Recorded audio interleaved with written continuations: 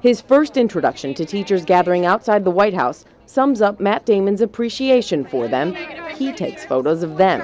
So I ask him. Do you have a message for the teachers? Hang in there, yeah. Judging by this turnout, they are. This Save the Schools rally features big names in the education community. Free public education. Diane Ravitch, Jonathan Kozol, What teachers make. the teacher turned poet Taylor Mali. Objection overruled. And while his name speaks for itself, Matt Damon says his own fame is because of teachers. I just want them to know that there are millions and millions of regular people who, who, who deeply appreciate what they do with their lives and, and, and, and know that this country would be a mess without them. So, so that's what I... Do you have a personal teacher in your mind that you think of when you say this? I have a lot of them. Here's one of them. This is my history teacher from high school, Larry.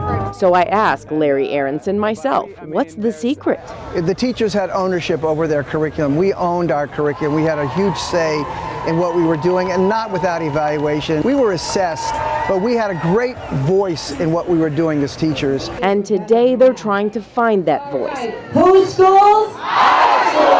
But we're standing up for every child's right to a quality public education. as this Boston mom and teacher puts it, before introducing her famous son. I see you bold. Damon tells me what he was thinking about when he wrote this speech. I feel more and more appreciative every day for the t- for the teachers that I had, and the older I get, the more I really it really sinks in as I get older how lucky I was, and and I want that for uh, for every kid.